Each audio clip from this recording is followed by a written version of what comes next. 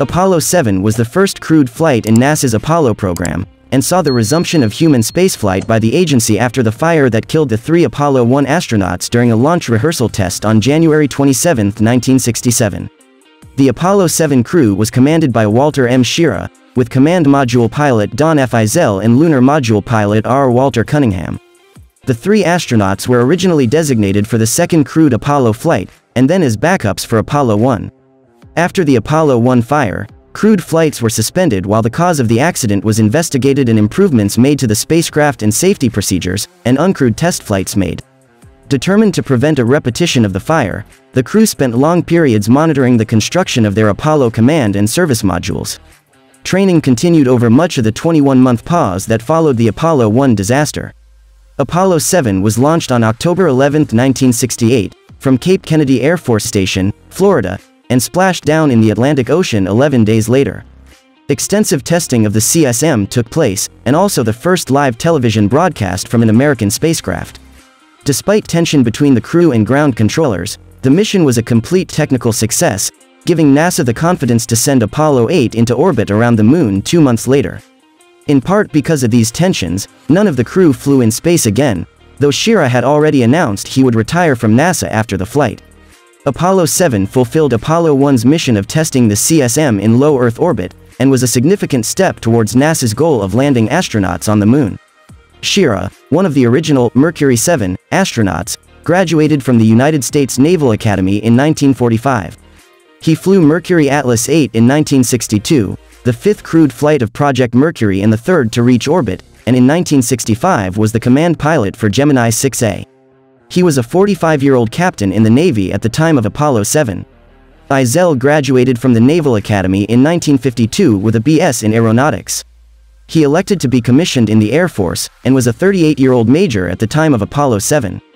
Cunningham joined the U.S. Navy in 1951, began flight training the following year, and served in a Marine Flight Squadron from 1953 to 1956, and was a civilian, aged 36, serving in the Marine Corps Reserves with a rank of major, at the time of Apollo 7. He received degrees in physics from UCLA, a BA in 1960 and an MA in 1961. Both Eisele and Cunningham were selected as part of the third group of astronauts in 1963. Schirra's crew in training for Apollo 2, 1966 Eisele was originally slotted for a position on Gus Grissom's Apollo 1 crew along with Ed White, but days prior to the official announcement on March 25, 1966, Eisele sustained a shoulder injury that would require surgery. Instead, Roger Chaffee was given the position and Eisele was reassigned to Schirra's crew. Schirra, Eisele, and Cunningham were first named as an Apollo crew on September 29, 1966. They were to fly a second Earth orbital test of the Apollo command module. Although delighted as a rookie to be assigned to a prime crew without having served as a backup, Cunningham was troubled by the fact that a second Earth orbital test flight, dubbed Apollo 2, seemed unnecessary if Apollo 1 was successful. He learned later that Director of Flight Crew Operations Dickie Slayton, another of the Mercury 7 who had been grounded for medical reasons and supervised the astronauts, planned, with Schirra's support, to command the mission if he gained medical clearance. When this was not forthcoming, Schirra remained in command of the crew, and in November 1966, Apollo 2 was cancelled and Schirra's crew assigned as backup to Grissom's. On January 27, 1967, Grissom's crew was conducting a launch pad test for their planned February 21 mission, when a fire broke out in the cabin, killing all three men. A complete safety review of the Apollo program followed.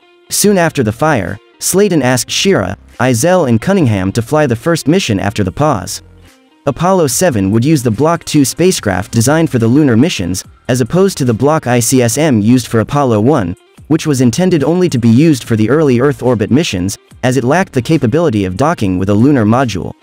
The CM and astronaut spacesuits had been extensively redesigned, to reduce any chance of a repeat of the accident which killed the first crew. Schirra's crew would test the life support, propulsion, guidance and control systems during this open-ended mission. The duration was limited to 11 days, reduced from the original 14-day limit for Apollo 1. The backup crew consisted of Stafford as commander, John W. Young as command module pilot, and Eugene A. Cernan as lunar module pilot. Ronald E. Evans, John L. Jack Swigert, and Edward G. Givens were assigned to the support crew for the mission. Givens died in a car accident on June 6, 1967, and William R. Pogue was assigned as his replacement. Evans was involved in hardware testing at Kennedy Space Center.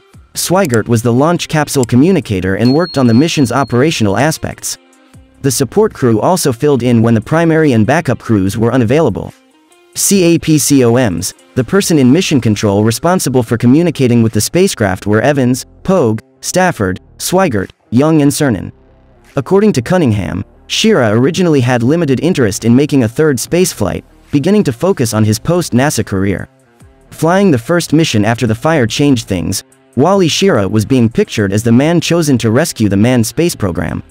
And that was a task worthy of Wally's interest. Eisele noted, coming on the heels of the fire, we knew the fate and future of the entire manned space program not to mention our own skins was riding on the success or failure of Apollo 7.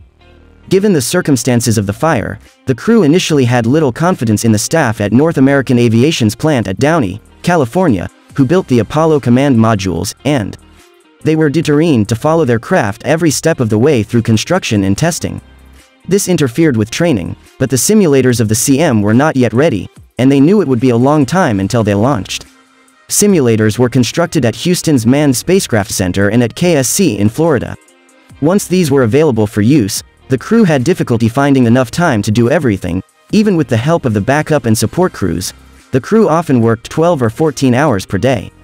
After the CM was completed and shipped to KSC, the focus of the crew's training shifted to Florida, though they went to Houston for planning and technical meetings. Rather than return to their Houston homes for the weekend, they often had to remain at KSC in order to participate in training or spacecraft testing. According to former astronaut Tom Jones in a 2018 article, Schirra, with indisputable evidence of the risks his crew would be taking, now had immense leverage with management at NASA and North American, and he used it. In conference rooms or on the spacecraft assembly line, Schirra got his way. The Apollo 7 crew spent 5 hours in training for every hour they could expect to remain aboard if the mission went its full 11 days. They undertook launch pad evacuation training, water egress training to exit the vehicle after splashdown, and learned to use firefighting equipment. They trained on the Apollo guidance computer at MIT. Each crew member spent 160 hours in CM simulations, in some of which Mission Control in Houston participated live. The plugs out, test the test that had killed the Apollo 1 crew was conducted with the prime crew in the spacecraft, but with the hatch open.